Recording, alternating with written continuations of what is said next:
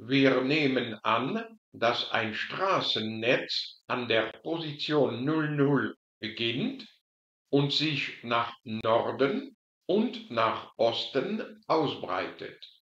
Die kürzeste Route dieser Straßen ab dem Punkt 00 bis zum Punkt IJ ist I plus J Blöcke lang, I Blöcke nach Osten und J-Blöcke nach Norden.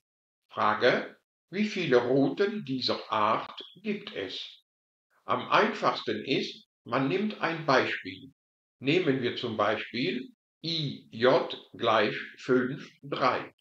Wir starten also von 0, 0 und gehen längs einer Route zu 5, 3. Zum Beispiel ein Block nach Osten, ein Block nach Norden, drei Blöcke nach Osten, zwei Blöcke nach Norden und ein Block nach Osten. Somit sind wir diese Route gegangen. Osten, Norden, Osten, Osten, Osten, Norden, Norden, Osten. Und gefragt wird die Anzahl solcher Möglichkeiten.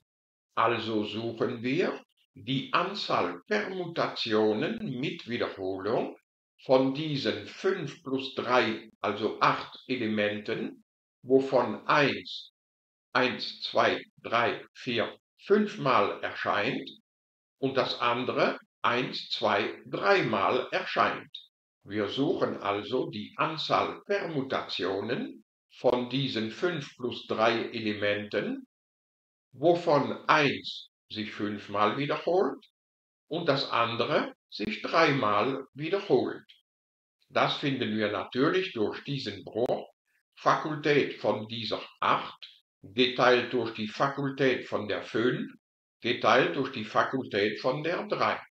Das können wir sofort verallgemeinern.